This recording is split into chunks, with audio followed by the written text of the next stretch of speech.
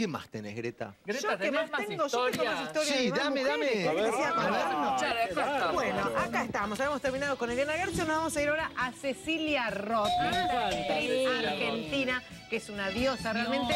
Estuvo en pareja, claro. Estuvo en pareja con Gonzalo Heredia, ¿se acuerdan? Exacto. ¿Ustedes se acuerdan cuando se conocieron, que empezaron todas No, las yo no me fotos? acuerdo. ¿No? No, fue Bueno, hace empezaron mucho. las fotos eh, en- a la salida del De departamento. ¿te acordás? De en. Palermo. Sí, ellos lo negaban. Pero en todos lados estaban las fotos. Entonces todos decíamos, a ver, esto lo niegan, lo niegan, ahí la tenemos, mira. Mira, ahí. Ella en ese momento 58, él 32. Ah, pero claro, los muy bien. 58 Ella es Cecilia Roth. Es una Son soñadas.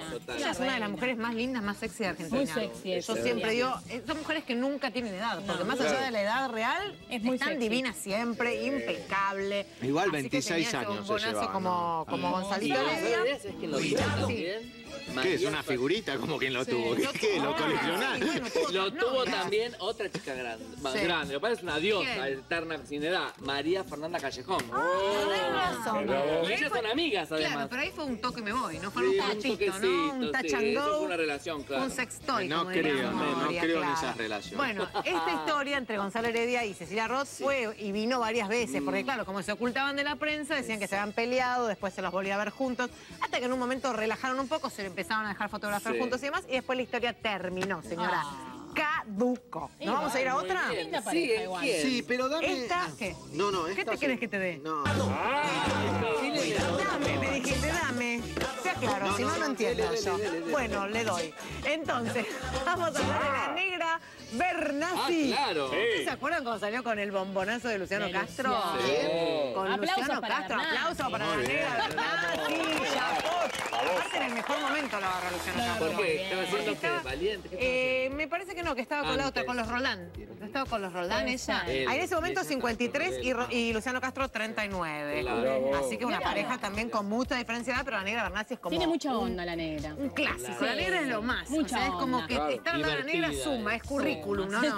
Para los hombres es como Es muy una top diosa, ella. es una diosa. También una pareja que duró bastante, bueno, después él se puso nuevamente de novio, ya oficializó Con todo. Sabrina con Sabrina Rojas. Rojas, con ya tiene un hijo está, Está- embarazada, está a punto de parir, ya, Mira, ya, ya no ya, sé, ya. mira. Así no, que le falta muy poquitito, seguramente. Así que mirá la facha de, de este muchacho. Bomba. ¿eh? Mirá, Luciano y la Castro, nena, mirá qué la bonita que ahí. estaba divina. Sí. Sí, sí, muy Así bien. que bueno, lo que duró también duró, como diría mi amigo Alexis. Mira. Y nos vamos a ir a Este otra es película. emblemático, ¿eh? Esta Es fue el tremenda. más conocido. Esta duró creo. mucho. Sí. Nueve años, si no me equivoco. Nueve años Ocho y, y años. nadie, eh, nadie apostaba nada, acá no, Renan. No, vamos a ser tal cual. Cuando se conocieron, cuando él les fue a hacer una nota. Para hielo y limón. Y ella le agarró en el departamento y dijo, de acá no salís más. Era Gracielita Alfano y Matías Salé en su mejor momento. porque claro. Matías Salé era Pendex, re, re, mucho y más joven que dice, yo ahora. estaba presente. 61 y 36. Wow, eso. 61, Ahora. ahora. Ahora, Ahora, en claro. ese momento, ¿cuánto tenía Matías? 30. 29 y nada. No, más 29. antes. ve- 20 Bueno, pongámosle 28 para ser 20. generosos. Sí. Y ella tenía 50 y- No, pico. Dice, hay una historia que ocurrió en el atelier de Jorge Ibáñez. ¿Qué pasó? Encerrado en, En el un lugar. en el Sí, vestidor. Baño. Y en el dicen baño. que Sí. hubo fuego. Y hay Fuego. fuego. Fire, fire. Sí, se encendió. Sí, Yo me pareja, acuerdo bueno. porque seguí mucho esta pareja. Sí, bueno, me tengo imagino. todo que yo se casaron Grabado. en Cuba. ¿En serio? ¿En serio? Qué copado. ¿Te fue Yo no, no, nunca ¿Le salí, voy a las toninas, pero se casaron en Sí, Cuba, me acuerdo. hicieron una. En el ceremonia. 2004 A creo mí que fue en Cuba. esa pareja. Y además, este, Después él fue- se luqueó tipo el che.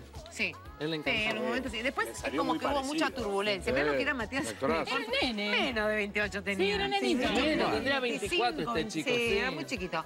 Bueno, ella estaba divina. Es Diosa sigue mira, estando hecha una diosa. Bueno, Totalmente, la fama es hermosa realmente. ¿Se acuerdan cuando fueron al programa de Chiche que medio la desnudó? Sí, ¿Quién? que se pusieron desnuda y le hacían. Ella se refregaba, hacelo con él, ¿te acordás? No. sexy. Es temprano. No, Es muy no, temprano. No, no meta leña al No, fuego. ella se Porque desnudó él le hace toda. Y después él no las hace, se No, ¿no? A se ver, mostrámelo vos, Rinaldi, para que vea que no y nada. Usted- desnudó toda. Y se la Él había se sacó la remera, entonces ella se refregaba, se Ah, pero la noche. Y se veía medio de coté, media lola de ella. Aparte llegó hasta acá el planito, cintura bien baja, casi hasta donde arranca la colita. Ahí corte, y, ella lo tocaba y de sensualidad. con ese bombón que Es encima era pecado recontra eso. pende, sí, estaba no, como loca la soy de hierro. Bueno, Claro. ¿qué va a hacer? También. No soy de hierro, no se Bueno, acerque. ¿Y qué Bueno, y ahora tenemos a una pareja de muchos años atrás. emblemática y el- con la que hay mucho afecto ahora, más allá de que se siguen... y hay mucho afecto y cariño, porque realmente se quieren mucho. Ella es Susana Jiménez Sí. y el Sí, Ricardo Darín. Un aplauso para esta pareja que todos realmente lados, esta en los pareja mejores está momentos. todo de 10, pero no Sí. es tanta la diferencia. 13 años, porque uno antes no se decía lo que hoy en día.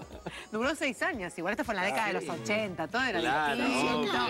Era, era otro, otro Ah, está estilo. mal la fecha. No, no digo que No, está, está bien mal. la que fecha. Sabe todo Ella es No, años mayor, yo lo dijo estoy- muy bien. Yo veo que usted está aprendiendo, que está haciendo Mirá las cosas cada vez mirá. mejor. Está muy bien. Eso fue años después cuando grabaron una publicidad de electrodomésticos. Ah, sí, pero eso no hace. grabaron la No, no, hace hace un par de años. Ahí ya no estaban de esta pareja, esta pareja, Ahí, eh, la señora en su casa seguramente se estará acordando, fue una de las más habladas en la década del Sí, 80. sí. Por lo que era Susana ya en ese momento y por lo que era Ricardo Darín. Había pasado ya. Carlos Monzón. ¿Cómo había pasado? Mm, Bueno, otra pareja que había sido... agua bajo el puente. Claro, primero el papá de su hija Mercedes, Sí, después- Sara Bairú. Sí. Después Caballero. Y después vino Monzón. Después viene Monzón. Después Norberto Draghi, basquetbolista. Y después ya... Y después Ricardo. Y Claro, después- como que había tenido muchas parejas Y públicas. después Susana. eh, La otra vez Corcho Rodríguez, después. Jorge Rama. Con Corcho duró un montón. Con Jorge enero. Rama. Sí, Y- y, nos estamos olvidando del polista. Rovirá. De Roviralta, que se casó. El que le Después tiró fue eso. después El de- cenicerazo. Después de, de, Dar- de De- Darín. De Darín y después llegó eh, Jorge Rama. Esa. Que ella ya estaba casi Rodríguez y Rama. dispuesta a no, a no creer en el amor. ¿Te acuerdas que había terminado todo muy mal? Y después tuvo un con un pende que era llamado Popilov. ¿se Ah, me acuerdo. Eso duró cuánto, muy poquito, ni un año, ¿no? Dos semanas. cosita. no, tampoco. Dos- no, un par de meses duró, me Bueno, parece. un par de meses. Bueno. iban y venían. Muy bien. Lo hizo acordar a algo. Sí, me hizo acordar algo, pero al revés. ¿Cómo? Claro, al revés. Él 80 años. ¿Y ella? 20. Y ella queda embarazada y tiene un bebito. Y los amigos del viejo le dicen a la cabeza, ese pibe no es tuyo. Ese pibe no es tuyo, fue el viejo embaladísimo. Me dijeron que el nene no es mío. Y ella dice que no es tuyo, es igualito a vos, ni un diente tiene.